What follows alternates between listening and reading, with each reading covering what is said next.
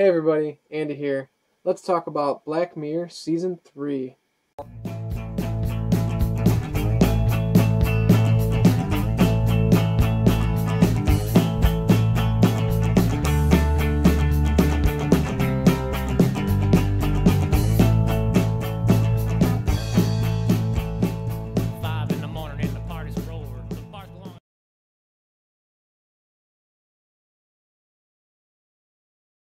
The Black Mirror Season 3 was written, created, and executively produced by Charlie Brooker.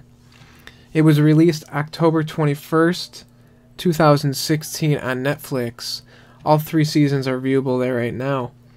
Some of the acting talent for this British anthology science fiction satire series are Bryce Dallas Howard, Mackenzie Davis, Kelly MacDonald, Alice Eve, Jerome Flynn, and Michael Kelly, to name a few. The Black Mirror Season 3 is currently sitting at 91% on Rotten Tomatoes.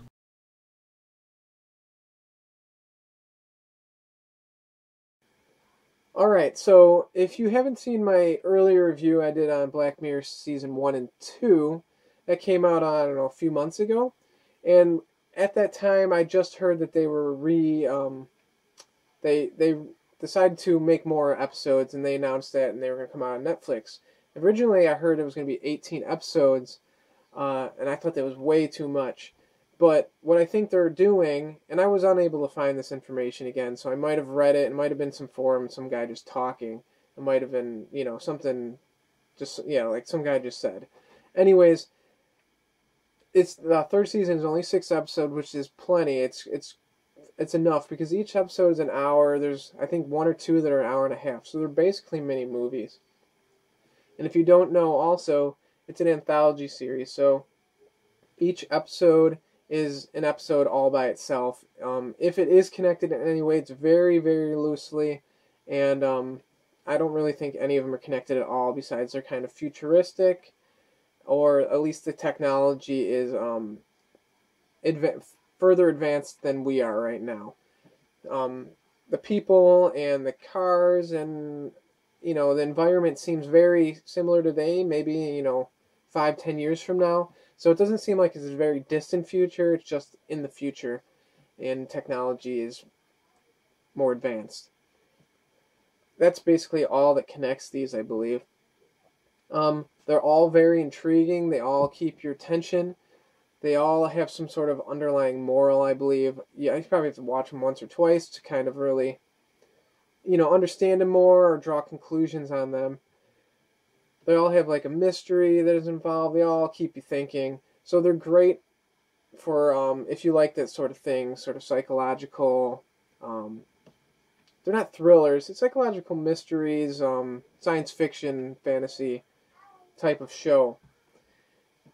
Um, the first two seasons were great. They got better as they went on, and this is um, the third season's the best, if you ask me. There was one episode I was kind of, mm, I, I'm not gonna say which one because I don't want to ruin it.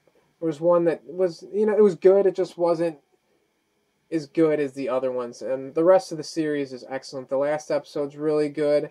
There was one with um, it was like a troll episode where um there's somebody that's that that hacks into people's computers and he makes them do things because he has like evidence on them so he's blackmailing them. And he kind of makes them do all these sort of crazy things. And at first you think it's a how far will these people go to not let certain things get um, known about them? And it's it's pretty crazy it's intense and uh, the ending is pretty amazing. So I know all all the episodes are great. You should give it a watch. It's Black Mirror season three. Give it a shot. You'll enjoy it. It's on Netflix right now.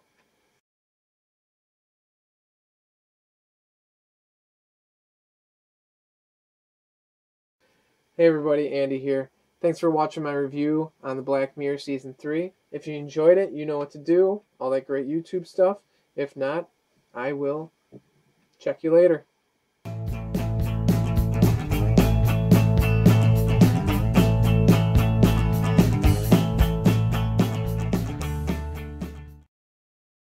I had a girlfriend once who wore a cowbell.